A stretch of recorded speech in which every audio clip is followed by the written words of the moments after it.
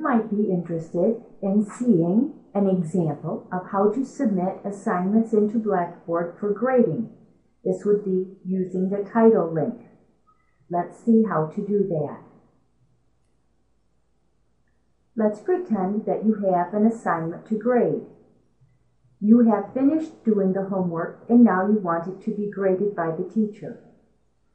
The section in Blackboard that has the assignment will have a link that's not underlined, but if you hover your mouse over it, you'll get the pointing finger. If there's no link, you won't be able to get the pointing finger and click on it, so you should always try that and see. Click the title to the section. It will open a new window. In that window, there will be a repetition of the assignment information, the same as was in that previous window. It will show the number of points possible. If you scroll down, the next section is assignment materials. In that box, you could write a note if you had one. I was not able to find the correct font. If you don't have anything to say, that's all right. Below that, is a place to browse my computer. Click Browse My Computer. Now you have to locate your file. I'm going to use a file that's on the desktop. Yours might be on your flash drive. Double click on it or click Open. Notice that the attached files list now shows your file ready to go. Please ignore where it says Do Not Attach that's if you made a mistake and want to take it out, you can take it out. If you have a second file to submit, click Browse My Computer again.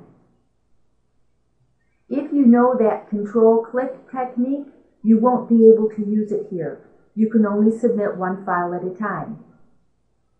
You should always be sure that you have submitted all the correct files.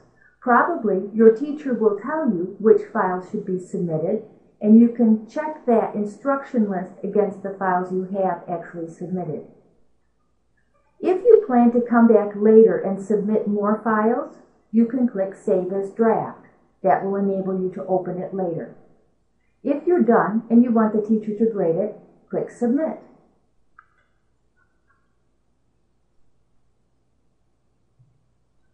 When you're done, you should go to Tools My Grades you can look at the legend at the bottom right hand corner and you'll see that if it needs to be graded, it will show a green exclamation mark. If it is still in progress, it will show a piece of paper with a pencil.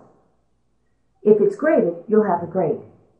If you see this attempt in progress note and you think you already submitted it, then you can try to submit again, and if it won't let you, send a note to the teacher and ask the teacher to clear it. That's how to submit into Blackboard.